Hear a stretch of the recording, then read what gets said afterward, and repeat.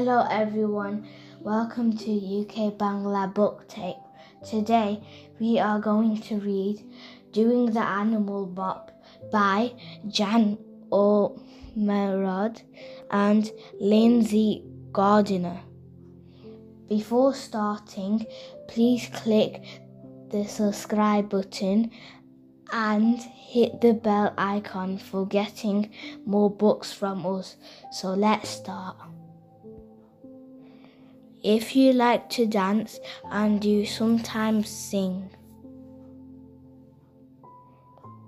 put your heels together and waddle along.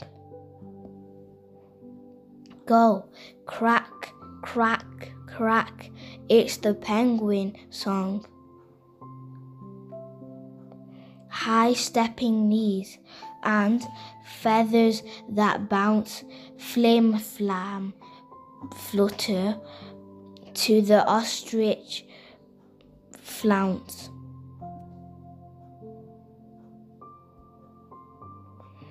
Just like a snake, you can slither along. With a hiss and a wriggle, you can sing this song.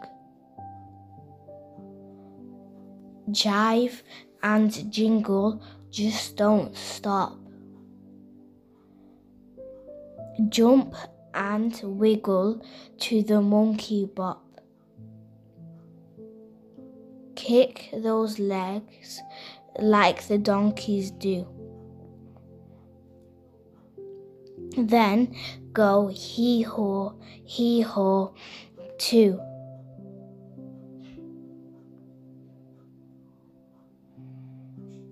Wave one arm, stomp your feet, trudge, trudge along to the elephant beat.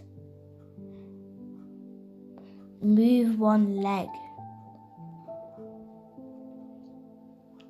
Now move two, move the way that the lizards do. A chicken can peck, and a chicken can clunk, cluck, but I think it's more fun being a duck. The duck does a waddle on his flip flap feet. So swing your bottom to the quack quack beat. Grunt and groan, stomp, stomp, stomp. Roar and rage, it's a rhino romp. All the cow can do is chew. So let's end up with a big, great big moo.